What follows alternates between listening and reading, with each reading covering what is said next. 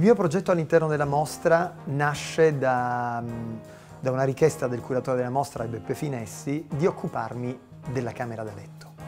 La camera da letto è il luogo del sonno, il luogo in cui, trascor in cui trascorriamo gran parte della nostra vita e in cui si fanno dei viaggi pazzeschi. Io devo dire che un po' questa dimensione del sonno l'ho eh, assimilata alla dimensione mh, del, del feto nell'utero. Tra l'altro lì ho fatto un ragionamento. In fondo che cos'è un uovo se non un utero solidificato?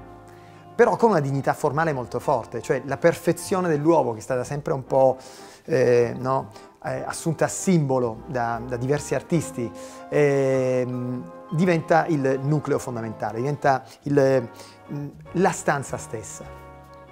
All'interno della stanza però ritroviamo come l'impronta di un volto, Infatti il, il lavoro si intitola Intro, è come se fosse veramente un, un ritrovarsi all'interno di quest'uovo, un, un, aver lasciato un'impronta in cui bisogna quasi riconoscersi.